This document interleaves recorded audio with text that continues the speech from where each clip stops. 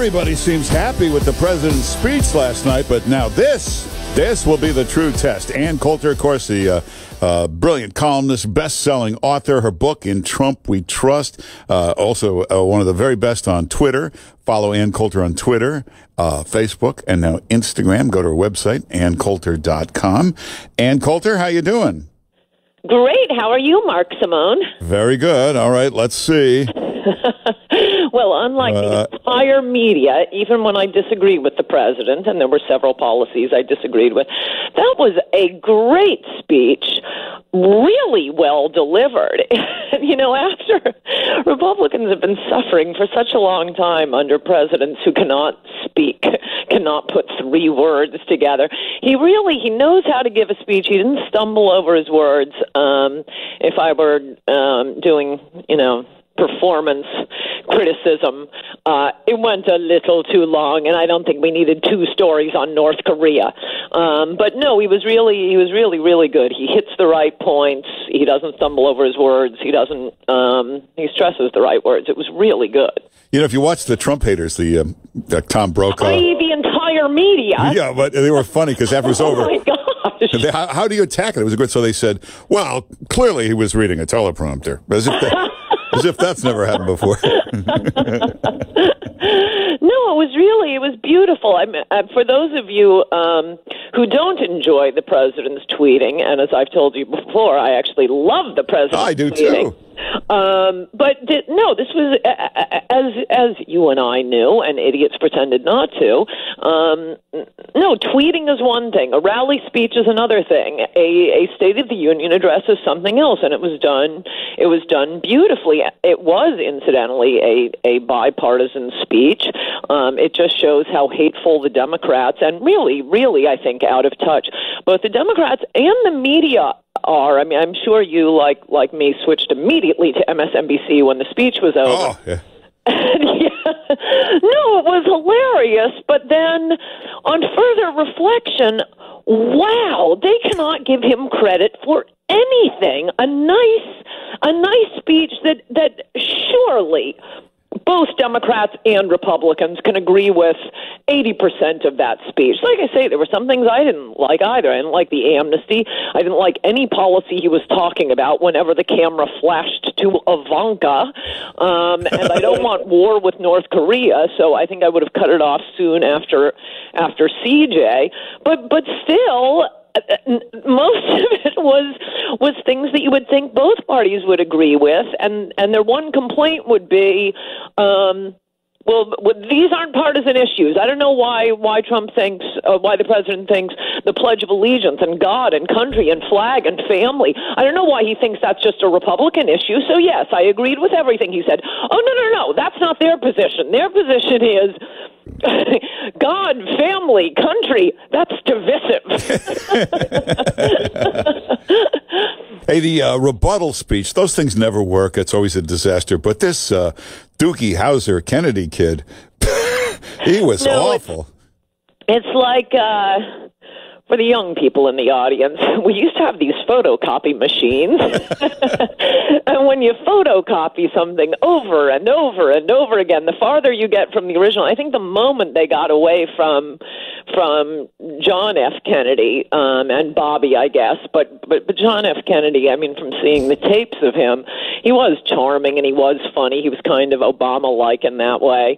Um, the farther you get away, wow. Um, there were a few things I couldn't tweet. I was, of course, live tweeting um, the State of the Union.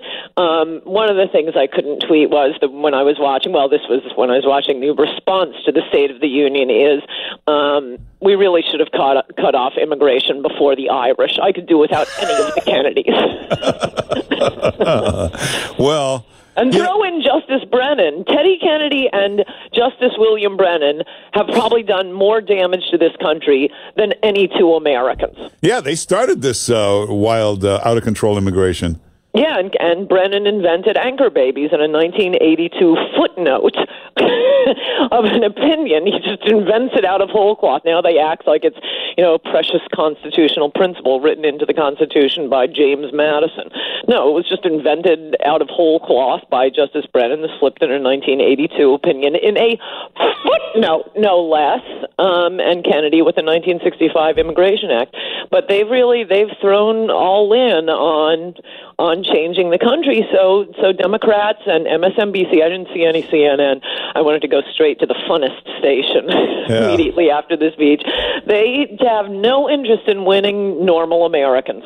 You know, uh, the regular NBC is now as bad as MSNBC. I was watching the coverage begin at nine o'clock, and uh, the most biased guy in the world, Lester Holt, goes to the biggest Trump hater, Brokaw, who opens by, you know, right now it's a good period for the president, but he opens by saying it's an embattled president who's under investigation.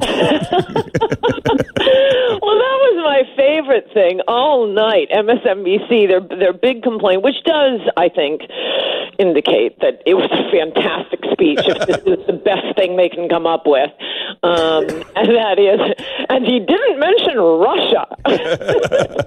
oh, Mark, this is the definition of solipsistic. No media.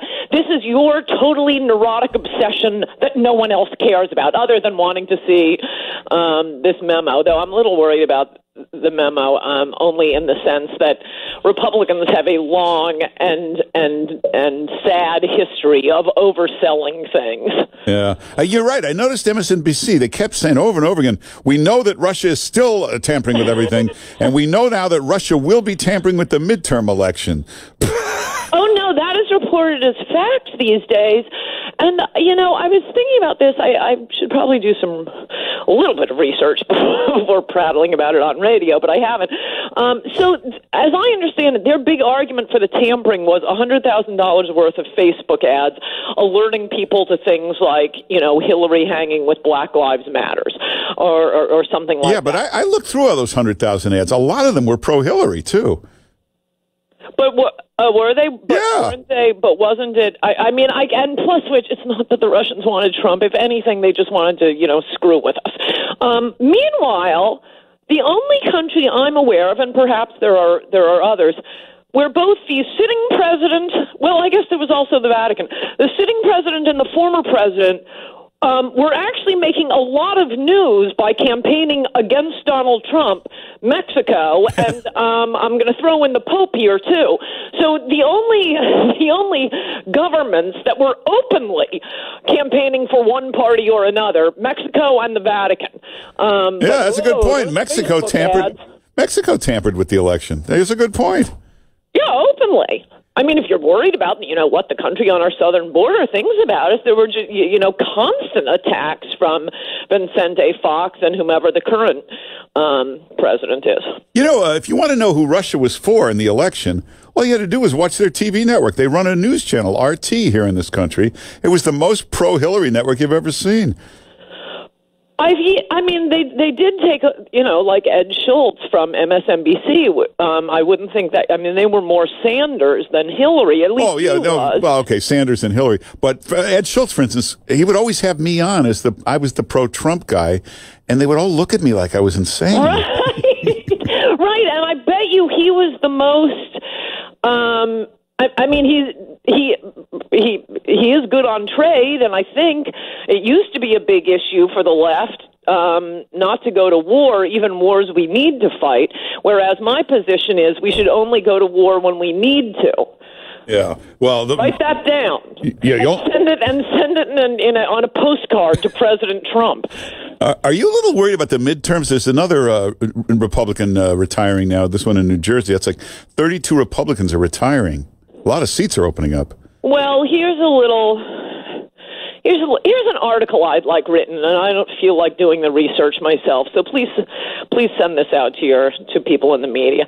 Um, I've seen some of these guys. I mean, one was from Pennsylvania. Who's that guy, Charlie Dent? Um, I suspect a lot of these Republicans are just cashing out. I want to know what the next job is.